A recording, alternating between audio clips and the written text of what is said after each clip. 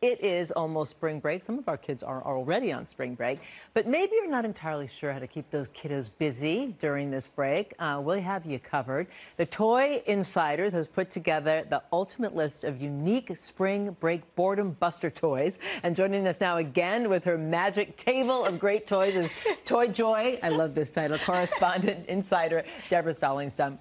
Good morning. Thank you for being here. Oh, thank bringing you for back having your, me. your treasure trove.